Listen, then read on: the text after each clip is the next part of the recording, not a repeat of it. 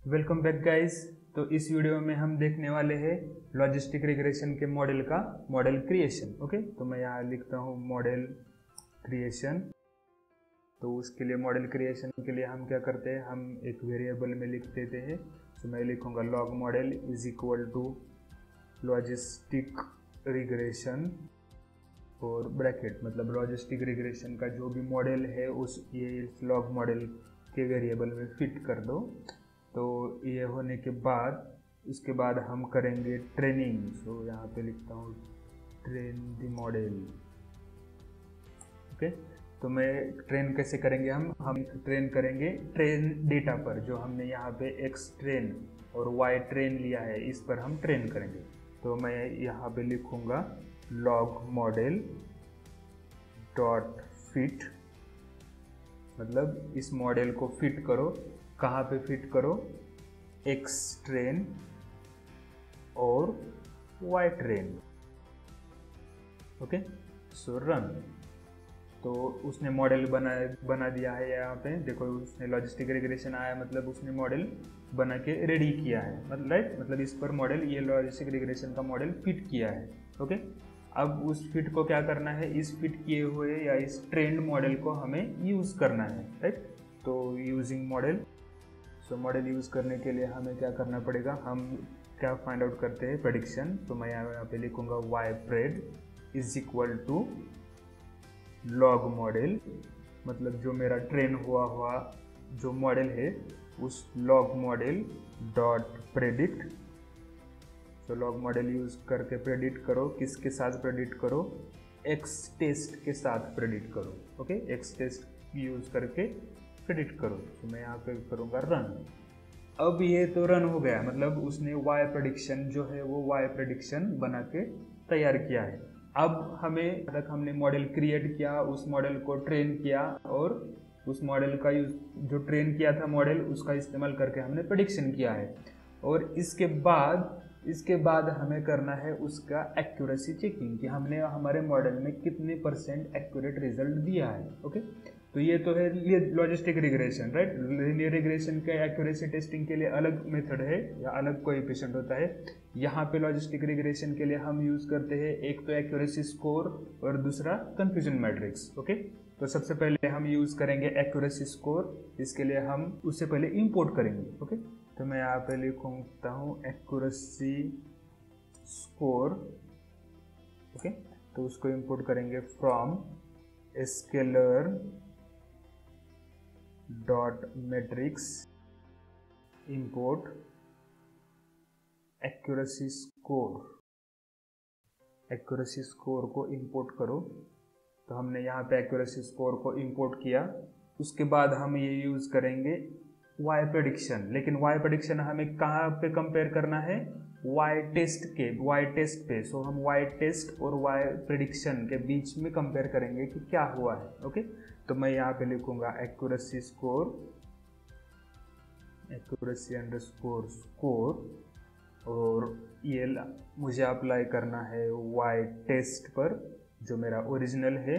और वो उसके साथ हम कंपेयर करेंगे वाई प्रेड जो हमने लॉजिस्टिक रिग्रेशन मॉडल का यूज़ करके प्रेडिक्ट किया है ओके तो मैं ये करूँगा रन तो मुझे आया है 0.62 मतलब हमारा जो मॉडल है वो 0.62 मतलब 62 परसेंट एक्यूरेट है, हमारे मॉडल की एक्यूरेसी है 62 परसेंट ओके तो एक तो हो गया ए एक मेथड दूसरा मेथड है कन्फ्यूज़न मैट्रिक्स ओके तो हम वो भी यहाँ पे इस्तेमाल करेंगे। तो हम यहाँ पे लिखता हूँ मैं कन्फ्यूज़न मैट्रिक्स ओके सो उसको भी इंपोर्ट करेंगे। So from sklearn dot matrix sklearn dot matrix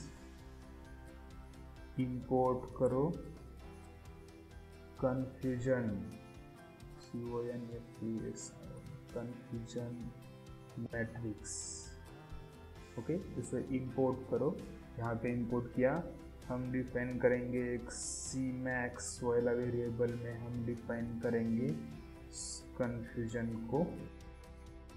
confusion matrix और वो भी हमें लगाना है, हमें कंपेयर करना है वाई टेस्ट जो है हमारा ओरिजिनल और वाई प्रेड जो है हमारा प्रडिक्शन तो हमने ये कर दिया, और उसके बाद मैं करूँगा print c max c max को प्रिंट करो। तो ये थोड़ा था हमारा कन्फ्यूज़न मैट्रिक्स हमने प्रिंट करवा दिया। जो एक्चुअल और प्रेडिक्टेड मतलब ये है हमारा एक्चुअल वन और प्रेडिक्टेड वन की। वन था और वन ही प्रेडिक्ट किया। इतने बार ऐसा हुआ है। ये है एक्चुअल और प्रेडिक्टेड ज़ीरो मतलब ज़ीरो था और ज़ीरो ही प्रेडिक्ट हुआ है। थर्टी नाइन टाइम्स क्या हुआ है थर्टी नाइन टाइम्स था ज़ीरो ओरिजिनल मतलब वाई टेस्ट में था ज़ीरो लेकिन हमने प्रेडिक्ट किया वन ओके okay? और टू सिक्सटी टू टाइम्स हमें क्या मिला है वन मतलब था वन और हमें मिला ज़ीरो ओके okay? तो ये इस तरह से हम इसे रीड करते हैं कन्फ्यूज़न मैट्रिक्स को और उसी के साथ साथ एक और मेथड हम यहाँ पे देखेंगे कि हमारे मॉडल का एक्यूरेसी या बाकी के सारी चीज़ें चेक करने के लिए। और उसे बेहते, उसे कहते हैं क्लासिफिकेशन रिपोर्ट ओके तो हम यहाँ पे, मैं यहाँ पे लिखता हूँ ओके तो क्लासिफिकेशन रिपोर्ट के लिए हम ये, उसे पहले import so from sklearn dot metrics वही से हमें करना है।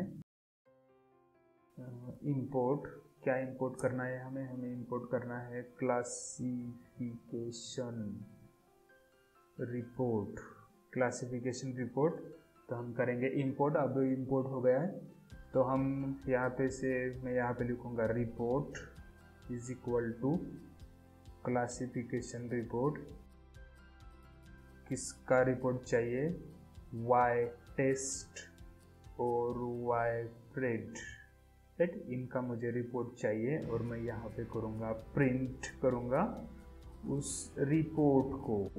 तो जैसे मैं प्रिंट करूँगा, ये देखो, ये पूरा आपका डिटेल में पूरा इंपोर्ट करके देगा कि आपका जो प्रिसीजन है कि ज़ीरो का कितने परसेंट प्रिसीजन है वन को कितने परसेंट किया है, उसका रिकॉल कितना कितना था, उसके बाद ये फ़ोन स्कोर भी दिया है उसने।